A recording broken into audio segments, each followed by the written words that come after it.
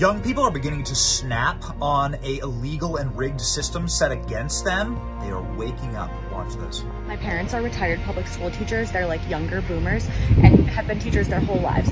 I want you to think about what life looks like for a household of two public school teachers with two kids today. Like what does their house look like? What's their what's their finances look like? Because this was my parents' situation. As two public school teachers, this is where I grew up on a lake with a boat. They never had side hustles. They never had summer jobs. They had summers off. They were two public school teachers and this is what that afforded them.